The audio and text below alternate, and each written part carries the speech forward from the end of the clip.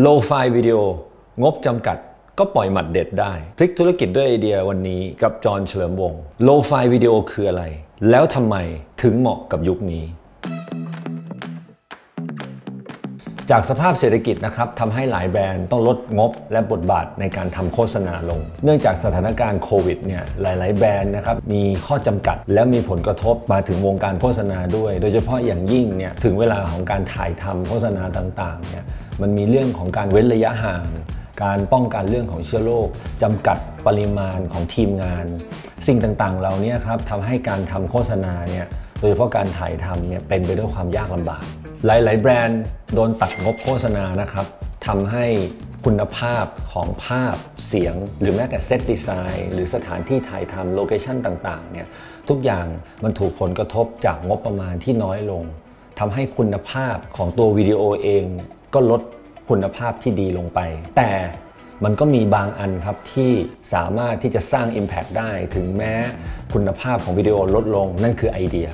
ไอเดียดียังคงสามารถสร้าง Impact ให้กับวิดีโอได้ จนเป็นที่มาครับของการทำวิดีโออีกรูปแบบหนึ่งที่เรียกว่า low fi วิดีโอ low fi โฆษณายุคใหม่ที่ไม่ต้องไปถึง 4K คำว่า lo-fi ย่อมาจาก low fidelity นะครับ มาจากศัพท์ที่ใช้อธิบายคุณภาพเสียง ซึ่งหมายถึงความไม่เนียบ เกิดจากสไตล์ดนตรีในยุค 80 นะครับ ที่มีการทำเพลงกันเองที่บ้าน แทนที่จะไปทำในห้องอัดในสตูดิโอที่มีการเก็บเสียงรบกวนอย่างดีนะครับริเริ่มโดยวิลเลียมเบอร์เกอร์ดีเจชาวอเมริกันนะครับในยุค 80 ซึ่งคำว่า low fi เนี่ยจริง ๆ แล้วตรงข้ามกับคำว่า hi-fi นะครับหรือในยุคนั้นจะมีดนตรี high fi ซึ่งมีคุณภาพเสียงใกล้เคียงกับเสียงเหมือนอัดเครื่องดนตรีที่อยู่ข้างๆ คนฟังเลย จนมาถึงช่วงโควิดที่ผ่านมานี่เองนะครับ ที่คำว่า low fi กลับมาใช้ในด้านของการผลิตวิดีโอ โดยเฉพาะคำว่า low fi กลับมาอีกครั้งในบริบทของคลิปวิดีโอครับ ในการโปรโมทสินค้า เรียกว่า low fi วิดีโอซึ่งหมายถึงวิดีโอที่ถ่ายทำด้วยกล้องโทรศัพท์มือถือนี่แหละ หรือกล้อง compact ทั่วไป จุดเด่นของ low fi วิดีโอนะครับคือภาษาภาพ ที่เข้ากับโซเชียลมีเดียแต่ละแพลตฟอร์มได้ทำให้ผู้ชมรู้สึกว่าคลิปวิดีโอนี้มีความเป็นธรรมชาติ และเข้าถึงแบรนด์นั้นๆ หรือวิดีโอนั้น ๆ ได้ง่าย lo-fi วิดีโอนะครับ สามารถเล่าออกมาได้หลายรูปแบบครับ เช่น ไฟล์ GIF Reels ใน Instagram TikTok Facebook หรือทางเลือกที่สร้าง interaction กับผู้ชมได้นะครับ เช่นการไลฟ์ขายของ การไลฟ์โปรโมทที่อาจจะมี ring light แค่ดวงเดียวนะครับ แต่กลายเป็นคุณภาพวิดีโอที่ทำให้ได้รับความนิยมเป็นอย่างมาก โดยเฉพาะอย่างยิ่งนะครับ ปัจจุบันการดูทีวีเนี่ยมีน้อยลง คนส่วนมากนะครับ ใช้เวลาในการถ่ายดูโซเชียลบนมือถือ เพราะฉะนั้นเนี่ยการสร้างคอนเทนต์ที่เป็น lo-fi วิดีโอนะครับไม่ว่าจะไลฟ์ขายของหรืออะไรก็แล้วแต่เนี่ย แล้วออกแบบวิดีโอนั้นๆ เพื่อใช้ในมือถือโดยเฉพาะเนี่ยเป็นวิธีที่เข้าถึงคอน sumer ปัจจุบันได้ดีครับ ผมว่าโลไฟวิดีโอนะครับเป็นผลพวงอีกอันหนึงที่มาจาก New Normal หลังจากมีโควิด เพราะก่อนหน้านี้เนี่ยจากประสบการณ์ผมทำงานมา 20 กว่าปีเนี่ยยังไม่เคยได้ยินคำนี้นะครับหรือมีโจทย์แบบนี้นะครับมาจากลูกค้า ตัวอย่างแรกที่วันนี้จะเอามาให้ดูนะครับสำหรับโลไฟวิดีโอก็คือ Diamond Grain ใน TikTok ครับ ก็เป็นผมว่าเป็นวิดีโอที่แทบไม่จัดแสงนะฮะแต่มันมีความตรงไปตรงมานะครับความไม่ไม่ไม่พิถีพิถันมากเนี่ยมันทำให้ภาพดูจริง คือถ้ามันถ่ายออกมาแล้วมันดูน่ากินเนี่ยแปลว่ามันดูน่ากินจริง ๆ นะครับไม่ได้มีการปรุงแต่งใดเพราะฉะนั้นใครอยากๆแล้วก็มีช่องทางของการแชทหรือการทักเข้าไปที่ชัดเจนนะฮะอย่างเราจะแถมผัดฟักทองไปเลยเต็มๆหนึ่งมีการเขียน ข้อดีของสินค้าที่เราขายเนี่ยค้างตลอด นี่เป็นข้อดีอีกอันหนึ่งของ TikTok เหมือนกันนะฮะลดน้ำหนักแบบอร่อยมาก ผมว่าเหมาะมากๆกับพวกสินค้าที่เป็นของกินนะครับ เพราะว่าดูน่ากินเห็นมีโปรโมชั่นนิดนึง แค่นี้คนก็สนใจแล้วนะคะเอาจริง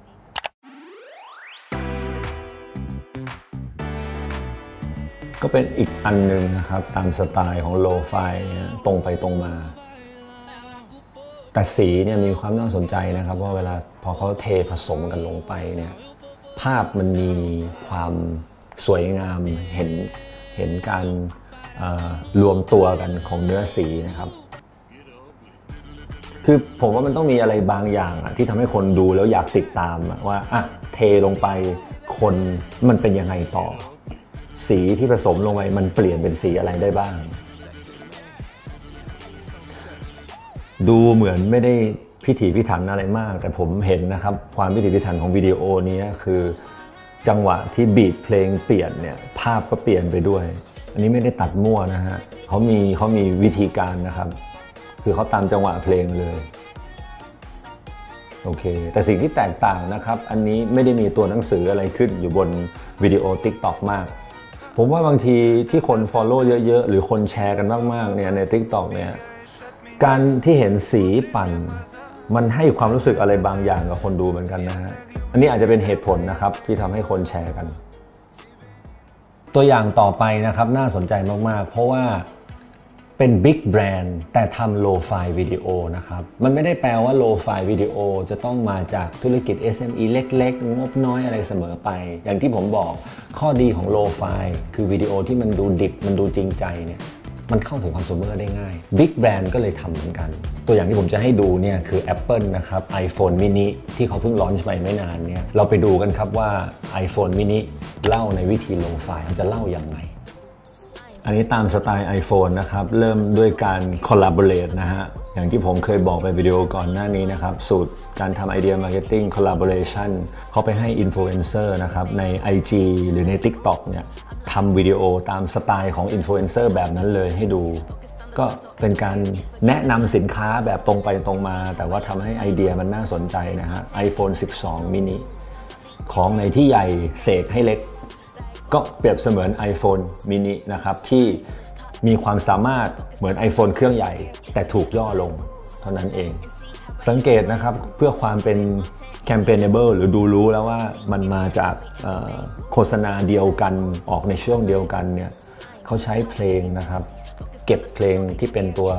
ตัวบรรเลงวิดีโอเนี่ยเป็นเพลงเดียว ถึงแม้ตัวภาพเนี่ยหรือตัววิดีโอเนี่ยเขาจะเปลี่ยนคนทำให้สไตล์แตกต่างนะครับจากข้อมูลที่เคยเช็คดูนะครับภายในระยะเวลาแค่ไม่กี่วันเนี่ยคนดูเนี่ยเป็นร้อยล้านวิวนะฮะทำไมโลไฟวิดีโอถึงปัง Ad Age นะครับเว็บไซต์ที่รายงานข่าวเกี่ยวกับการตลาดและการโฆษณาเนี่ยนะครับของอเมริกาเนี่ยบอกว่า performance นะครับหรือประสิทธิภาพ ของโฆษณาแบบ low fi เนี่ยทำได้ดีกว่าโฆษณาที่ถ่ายแบบเนียบๆซะอีก และผลการวิจัยในปี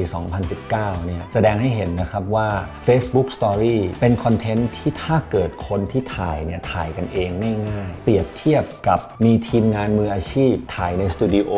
มีการปรับสี มีการอัดเสียงทุกอย่างออกมาเนียบกริบเนี่ยเชื่อไหมครับว่า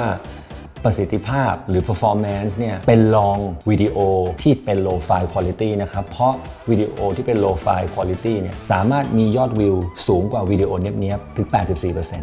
นอกจากนี้ low file นะครับ ไม่ได้หมายถึงแค่ในแง่ของคุณภาพเพียงอย่างเดียวนะฮะ แต่ยังรวมทั้งความเป็นต้นฉบับ และความละเอียดในการเล่าเรื่องที่ทำให้เกิด impact ระหว่างการรับชมครับ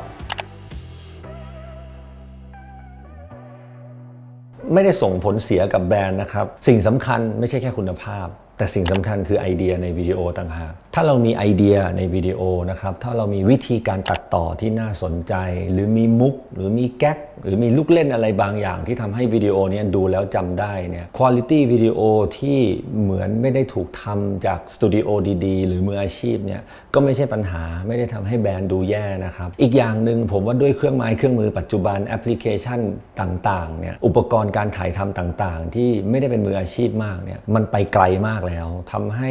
สุดท้ายแล้วตัววิดีโอเอง ถึงแม้จะอยู่ในกลุ่มของ lo-fi วิดีโอแต่วิดีโอมันไม่ได้แย่มากขนาดนั้น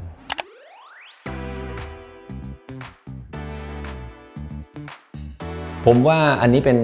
เป็นเทรนด์ใหม่ที่น่าสนใจนะครับ ส่งผลแต่ส่งผลไปในทางที่ดี ผมว่า lo-fi วิดีโอเนี่ยเอื้อ โดยเฉพาะอย่างยิ่งนะครับ การตลาดปัจจุบันหรือสถานการณ์โควิดอย่างเงี้ยทำให้มันมีความผันผวน ทีม marketing เอง เจ้าของผู้ประกอบการจะต้องพยายามคิดและปฏิบัติให้เร็ว เพื่อให้ทันท่วงทีกับ moment ที่เกิดขึ้นต่างๆนะครับหรือกระแสที่เกิดขึ้น แล้วเราคิดว่ามันเหมาะกับ product ของเรา เราอยากจะเกาะกระแสนี้เราทำ lo-fi วิดีโอออกมาได้เลย ระยะเวลาที่เร็วขึ้น งบประมาณที่ถูกตัดสินใจง่ายเนี่ยทำให้เกิดแบรนด์ movement ให้กับแบรนด์นะครับ ให้มันมีเสียง มันมีข้อความบางอย่าง พูดคุยกับกลุ่มเป้าหมายของเราได้บ่อยขึ้น ไม่จำเป็นต้องเรียกเอเจนซี่เข้ามา แล้วก็เข้าขั้นตอนของการทำงานแบบเอเจนซี่กว่าจะงานจะออกมาได้เนี่ยกระแสที่เราอยากจะพูดถึงอาจจะหายไปแล้วก็ได้ข้อควรระวังของโลไฟวิดีโอนะครับ คือเราควรจะต้องแน่ใจก่อนว่า จุดประสงค์ในการทำโลไฟวิดีโอนี้คืออะไร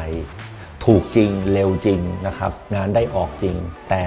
มันก็ต้องมีทิศทางมีเป้าหมาย เราต้องดูว่าโลไฟล์วิดีโอของเราที่ออกไปตอบโจทย์ของเป้าหมายที่เราตั้งไว้หรือเปล่า เดี๋ยวผมจะสาธิตนะครับ วิธีการพูดช่วง Subscribe อันน่าเบื่อ ในรูปแบบของโลไฟล์วิดีโอให้ดูครับ